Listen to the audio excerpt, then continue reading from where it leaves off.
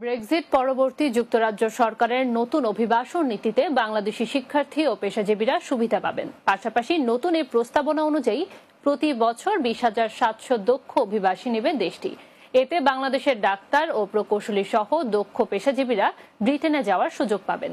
এছাড়া এক বছরের জন্য খণ্ডকালীন পেশাজীবী নেওয়ারও সুযোগ থাকছে। এই অবস্থায় ব্রিটিশ ও বাংলাদেশি ক্যাটারিং ইন্ডাস্ট্রি সবচেয়ে বেশি লাভবান হবে বলে ধারণা করা হচ্ছে।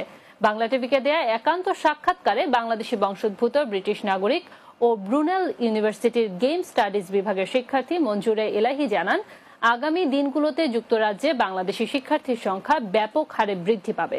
সাক্ষাৎকারের চুম্বক অংশগুলো নিয়ে সাজানো ধারাবাহিকের আজ দেখবেন দ্বিতীয় পর্ব। অনেক আছে তারা অনেস্ট তারা ভালো কাজ করে, তারা নিজের ট্যাক্স টাইম টাইম মতো পে করে। এগুলো এগুলো আছে, আবার অনেক আছে যারা ট্যাক্স দেয় না। তারা ট্যাক্স অ্যাভয়েড করে, তারা তাদের বাসার অ্যাড্রেস কি গভর্নমেন্ট জানে না।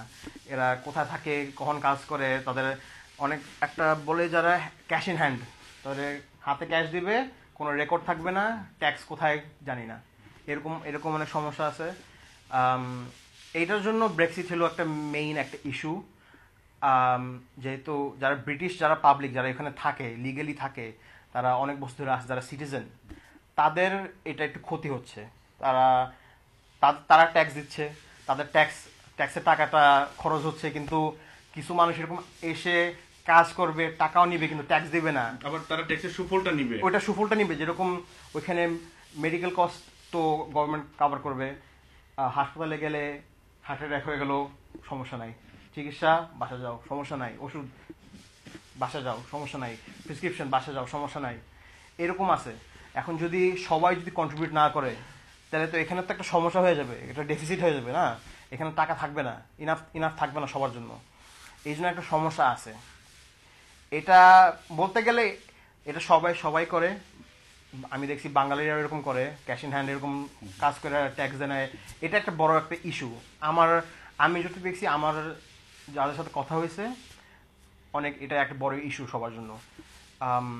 কিছু ট্রেড এগ্রিমেন্টের জন্য কিছু ইস্যু আছে, তাদের ইম্পোর্ট এক্সপোর্টের কিছু ইস্যু আছে। কিন্তু বাঙালিদের জন্য যদি এই ব্রেক্সিটটা হয়, যদি ফাইনালাইজ হয়, তাহলে বাঙালিদের জন্য আমার মনে হয় ভালো হবে। ফিউচারে যে ভালো হবে, এখন না, এক বছর পরে না, দুই বছর পরে না, কিন্তু ফিউচারে যে ভালো হবে, যা দেখা যাচ্ছে, বাঙালি, বাংলাদেশ থেকে যারা স্টুডেন্ট আসছে, যারা নতুন নতুন যারা পড়তে আসছে, যারা ভুয়া কলেজে না, তারা আসলেই পড়তে যাচ্ছে, তারা ভালো।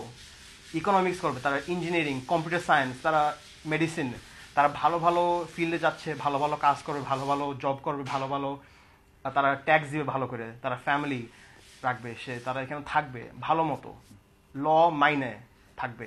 এই জন্য আমার মতামতে যারা নতুন বাঙালিরা যাবে নেক্সট ধরো দুই বছর না চার পাঁচ বছর পরেও, যারা নতুন নতুন যাবে, তাদের জন্য ভালো হবে। তারা ভালো ফ্যাসিলিটি পাবে।